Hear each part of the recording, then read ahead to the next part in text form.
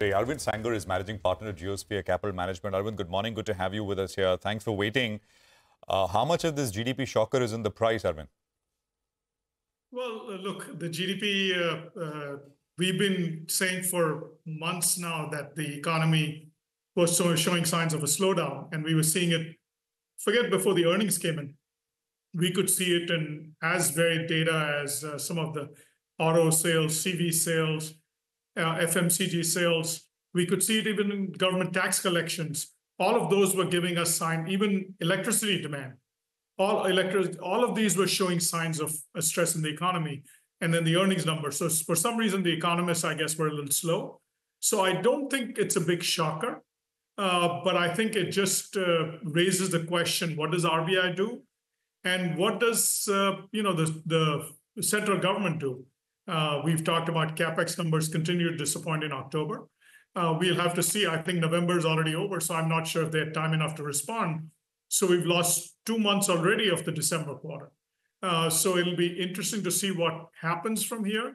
The question, you know, you were raising the question, or Latha was raising the question about FII selling. My question is, how much are domestic investors impervious to economic fundamentals? Is this a TINA market where there is no alternative? You know, that that's been the reason why money has been flowing in.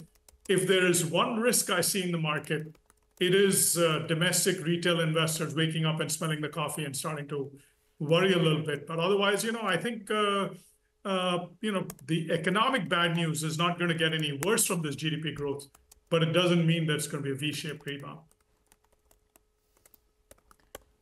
Okay. Um, uh, hi, uh, uh, you know, Arvind, good to have you on. So the question really here is is it going to be another big dampener for the equity market or we've kind of heard this story before in different parts. We've all been through the Q2 season, right? It's been there. It's, it's so evident. But uh, could this be a fresh negative I mean, or maybe a positive if we suddenly start expecting the RBI to move faster? What does this mean for equities? I think RBI moving faster is a positive. Uh, I think uh, to the extent that the uh, central government moves faster, that's positive.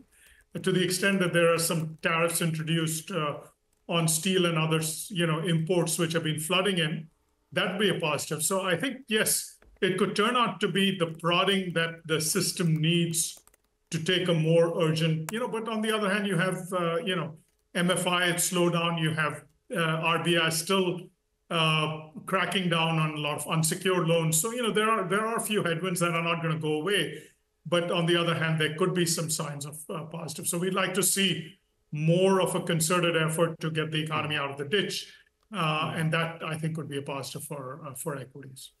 Hi, Arvind. Morning. Good to see you, Ben. So, what are you uh, factoring in then? You know, that rate cut, the repo rate cut comes in only next year. And in the near term, we see some tinkering with the CRR or OMO purchases. Would that be the way to work with? Near-term CRR cooling off, OMO purchases, and maybe that rate cut now is assured come the February meeting. Yeah, all of those I think are the central case. Those don't get us, you know, uh, pounding the table bullish. I think mm. we'd hmm. like to see more action from the central government in the shorter term, and obviously RBI, you know, taking a little bit of a, uh, you know, ease, easing uh, in terms of CRR would be helpful.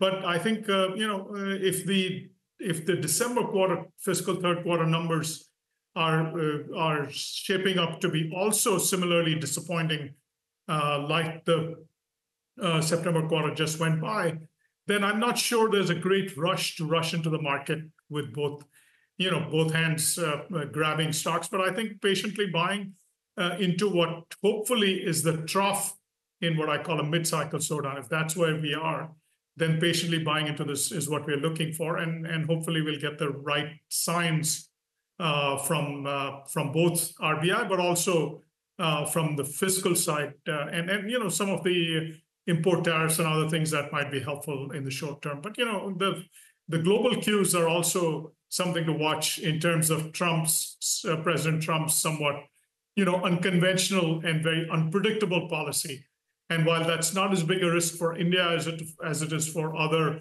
much more U.S. export-dependent economies, yes. uh, but India cannot take its eye, you know, completely off the ball on that front because, uh, you know, uh, President Trump is somewhat, uh, more non-discriminatory in some of his uh, some of his possible actions.